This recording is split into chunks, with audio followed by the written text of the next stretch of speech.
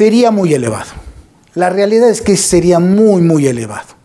Si nosotros tomamos en consideración que el, aporte eh, de fibra dentro de los panes que contienen fibra, porque no todos los panes contienen fibra, pero los que contienen fibra, más o menos es alrededor del 1 a 2% de, de, lo que están aportando.